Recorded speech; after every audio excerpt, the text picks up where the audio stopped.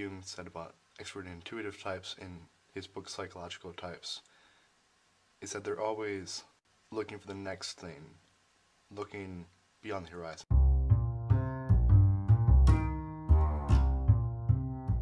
Hello, everyone. My name is Jacob, and thank you so much for listening to my podcast. On Fireside Personality Chats, I try to bring the theory of Jungian typology more down to earth through portraits and stories, thereby making typology more relevant and applicable to the everyday person. A few days ago, I released an episode entitled Portrait of ENFP, which told the story of a fictional ENFP just to show you how ENFP preferences can show up in a particular, in that case, fictional life. At the end of the episode, I offered a brief commentary explaining why Ron, the ENFP character, acted the way he did in light of his preferences. I'm recording this episode for those of you who want to dive a little bit more deeply into the ENFP dynamics. Before we begin, just a few things to keep in mind. I'm going to be explaining why his behaviors are relevant, are relevant to his ENFP preferences, but this should not be taken as me trying to quote-unquote prove that he's an ENFP. I'm analyzing his life through the framework, the assumption that he is an ENFP. So make sure you understand that distinction. Um, also, I'm going to be using some shorthand. I know that not all of my audience is familiar with that. So if you hear me say N-E, that's capital N, lowercase e, N-E, that means extroverted intuition. Um, F-I, capital F, lowercase i, that's introverted feeling. If I say T-E, that's capital T, lowercase e, that's extroverted thinking. And if I say SI, that's capital S, lowercase i, that's introverted sensing. Those are the four main cognitive function attitudes in the ENFP function stack in that order that I just presented them. Alright, so this is going to be a have a beat by beat commentary.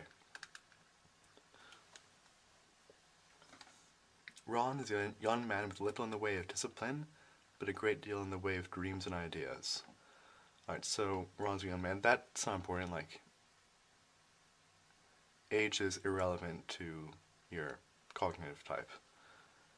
Um, way, little in the way of discipline, that goes to show his lower SI and lower TE. So SI, that's about in this case, it's relevant to routines, habits, um, thoroughness, and TE was would be like a structure in the in in the outer world, but a great deal in the way of dreams and ideas. So this mainly points to his NE, which would be his dominant function as an ENFP, and at least to me, the word dreams kind of it's it's more feeling than just like ideas, which could count just like this cold, innovative, whatever. Um, so that also points to his auxiliary FI. He's had numerous jobs in the past five years, from the boring ones of fast food joints and at retail shops, to the more meaningful ones such as working as a video editor and a freelance writer, to the fun and unique jobs such as playing catch with seals at the circus. Um, don't pay too much attention to what the jobs actually are. More important that he's had so many jobs in a relatively small number of years because of his expert intuition. So what what Carl Jung said about expert intuitive types in his book Psychological Types is that they're always looking for the next thing, looking beyond the horizon. Any is expert in intuitive types are ideationalists, if that's the word it is now, um, uh, visionaries, and I don't remember if this was said by Isabel Briggs Myers herself in the book, or if she was quoting or paraphrasing Carl Jung. I, th I think it was the latter. The the expert intuitive type, so either the ENFP or the ENTP, they're going to feel more fulfilled looking forward to the next thing. The the the the prospect of what could come next is more satisfying to them than the actual manifestation of that thing. So even when a job feels like a perfect fit for him, Ron rarely lasts more than a couple of months before searching for the next gig. Alright, so why would why would a job feel like a perfect fit for him? Because he's his NE is going to perceive it and he's going to so so it's it's it's a perceiving function which means that in some it's compulsory for the the ENP to to pursue that. Right, so even when job feels like work fit for him, Ron rarely lasts more than a couple of months. That goes back to the fact that NE by nature finds the prospect more satisfying than the substance. And in Ron's case in ENFP, it's probably also because he doesn't actually have any real personal interest by way of FI and it. FI is about core values and hierarchy of values. Um, and in fact, sorry, continuing the story, and in fact, Ron more often than not finds the dream of the next job more fulfilling than the job itself. That's what I was explaining earlier about NE preferring the prospect over the substance of the thing. Continuing, although Ron most of the time leaves his job of his own accord, he has been terminated once or twice. Right, so again, Ron leaves his job because of NE. He gets bored, needs on something else. Right, but he has been terminated once or twice. This is largely because Ron is pathologically disorganized. I I think pathological for exaggerations. It's not. I'm not trying to say that ENFPs or ENXPs are like mentally ill in any way because they're disorganized. So just to be clear about that. Absolutely despises routine. That goes to his inferior SI, and his one impulsive, which is which goes to I guess his inferior SI and also his dominant NE. Um, important to remember that um, cognitive functions work in opposite, so NE is the polar opposite of SI. Um, he doesn't keep a schedule, he forgets to set his morning alarm half the time, and even when he does, he often forgets to plug in his near-dead phone before going to sleep that by the time morning comes, his phone is dead and thus no alarm. Alright, so that just goes to his, again, to his low SI. Um,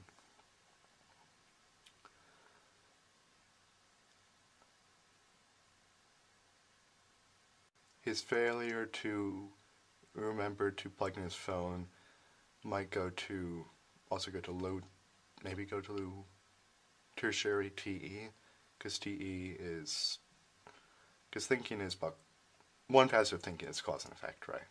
And TE is cause and effect in the outer world. So if Ron has low TE, then he might not.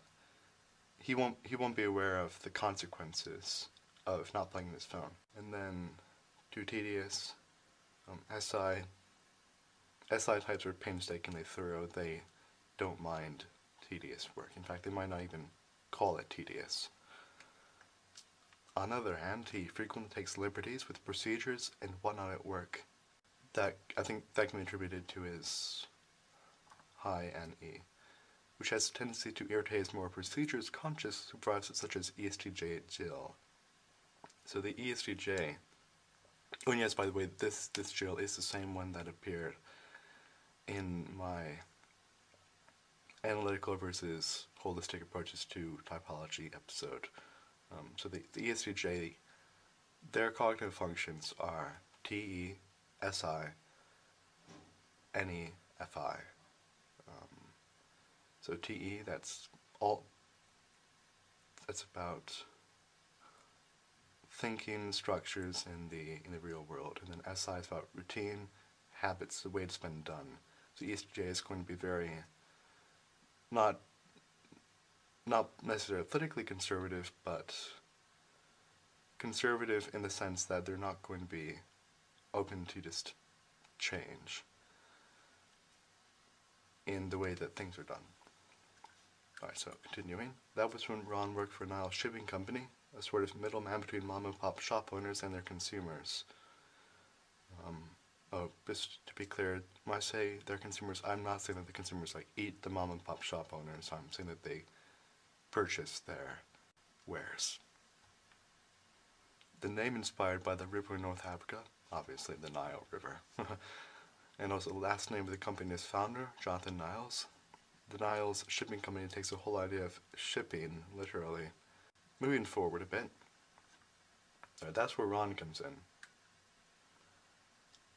Um, he's a driver whose job it is to help unload the packages from the boat and then load them onto his pickup truck.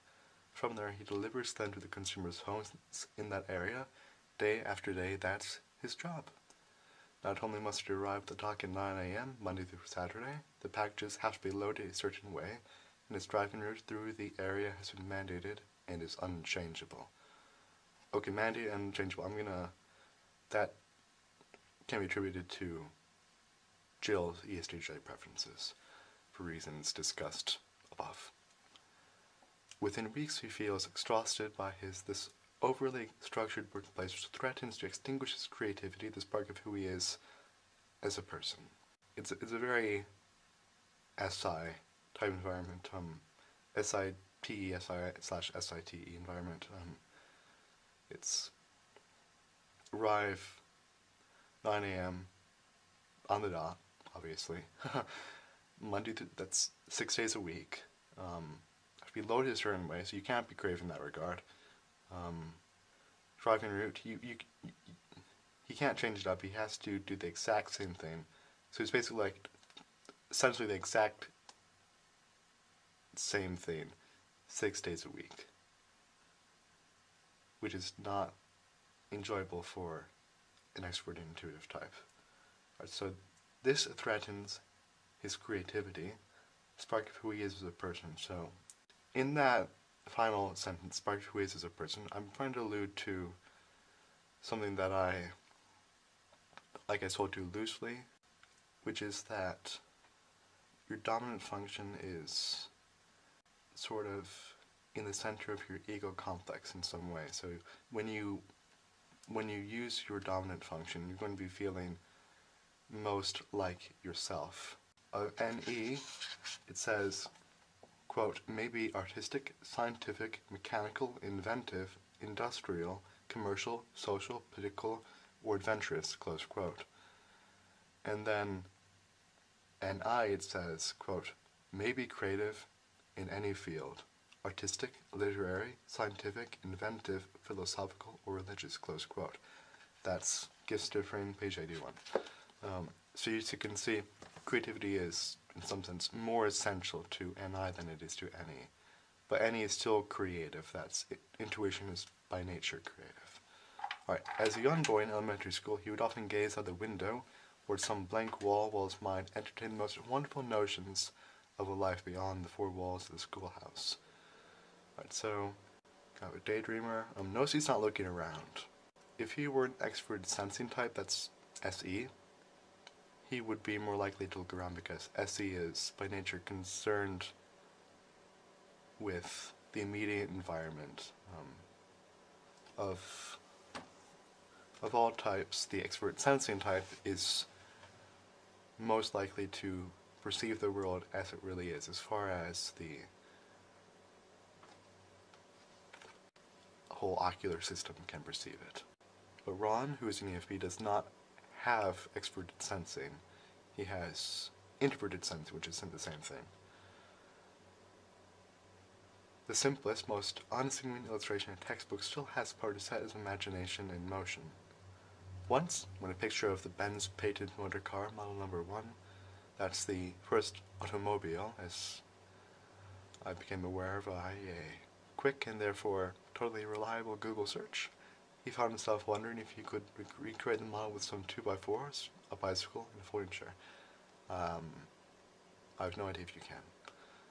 At the very beginning of summer break, Ron made the Ronald non-patent pedal car, model number one. Of course, it was a far cry from its inspiration and ran human energy via pedaling instead of gasoline. Alright, um... So, that's just an example of NE in motion. The his he he saw the picture of the of the motor car, right? I thought this gives me an idea of something I can do in the real world. So he did that. Um, of course, it's a far cry from where I read that. Um, all the same, Ron was proud of what he'd imagined and accomplished. Just that's just I think anyone would would be proud of that. then again, as you would expect, by the time summer vacation was coming to a close, Ron had lost interest in his pedal car. Again, the NE, the idea is better than the fulfillment of the idea. The prospect more satisfying than the substance, the manifestation of the prospect. Years later, after Ron had worked for Niles Shipping Company for two or three weeks, he spent one evening perusing through the photo albums and happened upon a photo of the Ronald non-patent pedal car model number one. Right, so why is he perusing through the photo albums? This is because types with lower, with I guess inverted sensing no, but I think especially lower inverted sensing, such as the INTP, INFP, ENFP, and ENTP. They they have SI, but it's not something that they show up with a lot. So um, they might use SI will be more personal to them, sentimental. Um, I, I don't feel equipped to fully explain the dynamics at this point. This gave him the idea to make a few idea. See, sees it, idea. Um, make a few changes in the way he did, he did things at work. Once he jotted his, jotted his ideas down, he called a few of his friends, including ESTP Dave. And yes, this ESTP is the same Dave as the the character who shows up in my first episode, um, The Self Concept. He took the following Saturday off, much to Jill's chagrin, and showed Dave and his other friends a picture of his pedal car. Then, unable to contain his excitement, okay, why is he unable, unable to contain his excitement? Is because he's a feeling type? No, because he's an extrovert. That's not what he means in Jungian typology. In, in Jungian typology, the introverted type, their cognitive state is more focused inward to their feelings, their ideas, their thoughts, memories. The extrovert is more focused outwardly towards what's around them, potentials in the real world, which is why, never mind, um, structures, um, the, the, the group harmony or lack thereof. So, that's what there's a main difference. Um, generally, extroverts are more, they, this is something I read on not a typology article. Um, experts are usually better at thinking on their feet. Um, introverts, because introverts process information more deeply, they're going to have more difficult time at word retrieval oftentimes. Um, extroverts have a better kind of working memory, introverts have a better, I guess, more permanent memory. That's what I've read anyways. Um, oh, the reason I brought this up was um, extroverts are usually more emotive than introverts. So that's why Ron is unable to contain his excitement. Now, to be sure, can an introvert ever feel such that they can't contain their excitement? As, yes, they can, but it's going to be more common for the extrovert. Okay, then, unable to contain his excitement, he explained that they would make a fleet of these. Only this time, there would be an enhancement storage space. when Ron explained the purpose behind this, his ISTJ co-worker, John, said dryly, So you want more people to do more work to deliver the same number of packages. So the I through J, that's, as you can tell, the opposite type of the ENFP. Um, so S I T E F I N E. Even more than the E through J, the I through J is going to be even more focused, more concerned with the status quo, keeping things the way they are. The when the I through J is going to be someone who says, "If it ain't broken, then don't fix it." On Monday, Ron, Dave, another two guys, they don't get names, so I don't know what they are, show up at the NSC dock with their pedal cars. John is a bowman, so naturally is not, not able to join them. Um, rather than loading the packages onto the pickup truck, they load the packages onto their pedal cars. In this manner, Ron is able to experience a change at work, satisfy that NE, giving him a reprieve monotony, monotony of his job. All was going well until he returned to the dock to chat with John at the end of the day. Um, chat with John at the end of the day. Um, Alright, so Ron comes to chat with John. So I said earlier that extroversion is not the same thing as getting energy from being with people. In the Jungian system, it's that's a true definition in, like say, the Big Five, I, I believe, but but not in Jungian typology. So different systems, different definitions. Fair enough? Okay. Um, but Ron, as extrovert intuitive type, he's one one of the things about extrovert intuition is often that they're going to be in, they're going to enjoy bouncing ideas off of other people, which I don't know why he would interact with ISTJ. Um, maybe there's something deeper. It could also be, remember Ron's auxiliary function is inverted feeling, right? Fi. So he might feel type of bond attachment to John, who, by the way, has tertiary Fi. So, okay, just point that out. That's kind of, dare I say, stereotypically STJ behavior. Jill was probably in an FI group that day, and so she hastily fired Ron. Kind of don't take that too seriously, but one of the elements of type theory is that under stress, a, a type can enter into the grip of their inferior function, which in Jill's case is an ESTJ would be Fi, and manifest as the opposite type, but in an unhealthy way. So Jill, I guess, is manifesting as an unhealthy INFP in this instance. I say probably because, no, no, maybe, oh no. Alright, that termination affected Ron deeply. Why could he not have just done his job? Why couldn't he just obey his marching orders? Why couldn't he just follow a routine? Why couldn't he use a planner? Why couldn't he even hold down a job? He felt that he would never find a job that satisfied him. Alright, so why couldn't he follow a routine? Why couldn't he use a planner while you're a job. Um, oftentimes, people will be, I guess, self-conscious of their inability to use, to do things, to use their inferior function well, oftentimes. So for Ron, that's SI, so he's, he can be self-conscious of that. He thought that he would never find a job that satisfied him. Um, again, any any type can feel that way, right? Um, but in, in Ron's case, I would probably say that's due to his auxiliary Fi. Fi wants, one of the elements of Fi is living life according to internal values even the ones that promise to satisfy him fall short of his expectations. And why these promise to satisfy him? Because the the idea is almost intrinsically motivating to the NE type. NE, not NE, the, the letters, you know what I mean.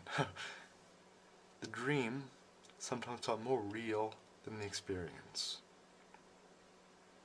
Ron was too tired and distraught to face his questions at night, so he turned to YouTube videos of cute animals, which have definitely been clinically proven to be therapeutic. A little bit of my dry humor there. He felt better, at least on the surface, until watching a video of seals playing with a beach ball. I I foreshadowed that above. He imagined himself playing catch with all those seals, maybe at a circus. He might as well have worked at a circus. After all, he was essentially a clown. Um, Ron went to a well-known search job search website that runs with Lynn Reed. I wonder what that is. but you can guess. And queried for circus jobs.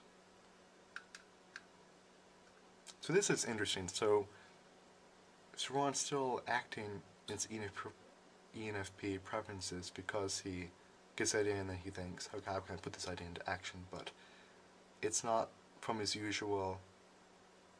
He's not doing out of any enthusiasm, which is usual for his to to his nature. He's after an hour or so of schooling and searching, he found an opening for a seal performer at a traveling. Okay, when I when I wrote that, I pictured like a Navy SEAL performing in a circus. I don't know what that looked like. Which just so happened to be coming to his town in the next week. Ron applied, and the ringmaster asked him to audition that coming Wednesday evening. Although Ron didn't prepare, and has never been athletic at all, he somehow blew away the ringmaster himself with his performance. This is kind of unexpected, theoretically, because Ron isn't any type who doesn't have SE. He's you won't expect him to be good at this type of thing. And honestly, like, why is he? The answer is simple. Because I needed him to be. Because I'm writing the story. and, oh, of course, the seals enjoy playing with him too, for what it's worth. And so, Ron got the job, and for eight weeks he traveled with the circus, and each evening his job was to catch with seals. This was certainly a more, lot more interesting than his previous job, and the ringmaster was much more open and lenient than Jill. I.e., Robin was probably able to play catch differently each time. It's not like first you have to throw it to seal 1, then seal 3, then seal 4, then seal 2, then seal 5, then whatever. Which is what Jill would probably have him do. Not to say that all ESTJs would do that, I'm just saying that this particular ESTJ named Jill would do that. As a result, Ron enjoyed doing this a lot more than any of his previous jobs. But ultimately, his job was the same day after day, playing catch with seals. Ever and always dissatisfied with his present reality, Ron grew more and more bored. Something about intuitive types in general is that they're by nature dissatisfied with the way things are. They want to change things. In the case of NE, it's usually by changing actually how, but actually changing the what is. In the case of an I, it's usually about changing how you look at something. So, an I type, for example, might see a simple flower and apply some quasi-mystical meaning to it from their NI. One afternoon during this time, Ron entered the library and asked Margaret, the reference librarian for literature and finding satisfactory jobs. Margaret asked about his conundrum and explained in disorganized, emotive fashion, disorganized because of his NE, emotive because he's an extrovert. And a feeling type, but mainly because of he's an extrovert. His career history from the day he dropped out of college. I might say that all ENFPs are all extrovert and intuitive types drop out of college. No, I'm not. You can choose to not act in accordance with your preferences. But because this is kind of an archetypal story, I'm trying to show the general patterns of the ENFP in a real, quote unquote, real fictional life. So, Ron's kind of acting the quintessential ENFP by dropping out of college because he probably got bored. Okay, when he, Margaret listened closely and patiently to Ron's rant. Um, when he finished, she thought for a moment and said, it seems to me that you keep on chasing the next thing. No kidding. But for whatever reason, you expect it to be more meaningful than the current thing. That's because of its NE. but there's no guarantee of that being true. If you want the next thing to have any real meaning or value, you're going to have to find something that mean, that's meaningful to you, personally. You can't chase after all the ideas that enter into your mind. You have to decide what grips your soul, what attracts the very essence of your being.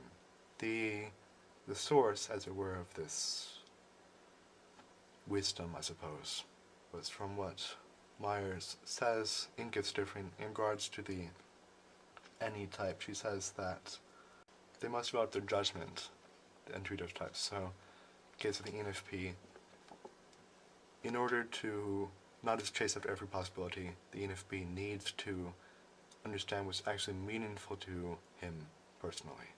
So, Margaret is serving to awaken his auxiliary FI. Um, interesting about the auxiliary function, it's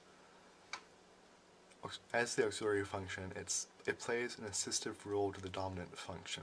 So it's like the the the um, the advisor to the dominant function. In the case of the ENFP, the dominant the ENFP by nature is trying to think about possibilities, explore things, right? Ideas, whatever. Um, then the auxiliary FI kind of tames that ideational spirit and asks, what's important to you? You can't chase after, after all the ideas that enter into your mind. You have to decide what grips your soul, what attracts the very essence of your being. Margaret asked him what that was for him, but he could not for the life of him say.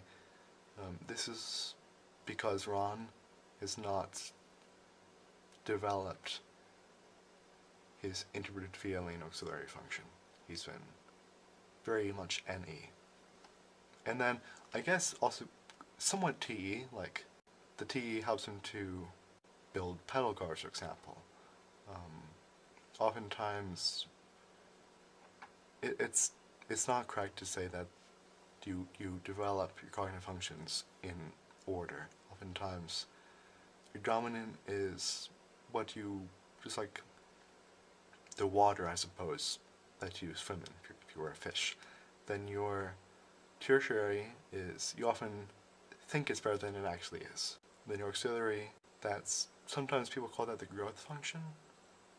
So the ENFP to to grow cognitively to develop the the FI function.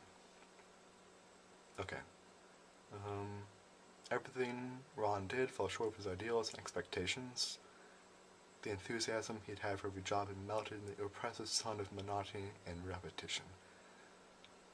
Um, you can't escape routine, repetition and routine, said Margaret. But if you can tolerate these things, then maybe you can find a job in which you're free to use your greatest talent, your creativity, your, your ability to see potential in the smallest of people and the smallest of things potential because that's just the way the extra intuitive works. They see potential. Ron reflected on this and felt, notice I felt, not thought, or conclude I say felt, that the librarian was right. Within six months, he had established a career as a life coach, or something like that. To this day, he helps people who feel stuck in a rut discover what their passion is, and pursue it to the degree possible. Myers says of the of the ENFP that ENFPs are often drawn to counseling. So, as a life coach, this it's it's not counseling in the traditional sense of like talk therapy, but it's it's similar. In fact, it's very unable to change its nature. Ron still holds other part-time gigs that change from short time to short time but it is in this more permanent job in which he finds deeper or personal meaning. Fin. I mean, the end. um, he finds this is because his FI is invested in this endeavor. Right, so that's a commentary on the NFE, ENFP personality type as the preferences manifest in this archetypal story of a fictional ENFP by the name of Ronald. thank you for listening, everyone. I know I've been putting a lot of content out this week. I think this is the fifth episode since Friday. Part of that was because I had a lot of energy from this new, exciting project. Um, part of it was because I I want to get as much content out right away to get the podcast having some traction. Um, but I think from now, probably expect usually two episodes a week at most.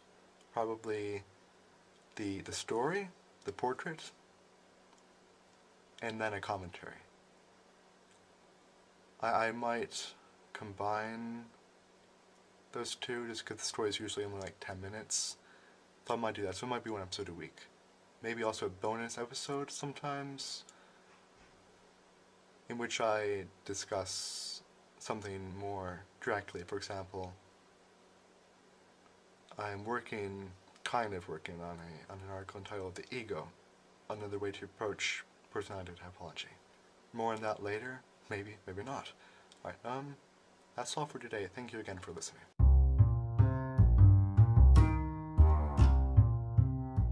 Hello, everyone. My name is Jacob, and thank you so much for listening to my podcast.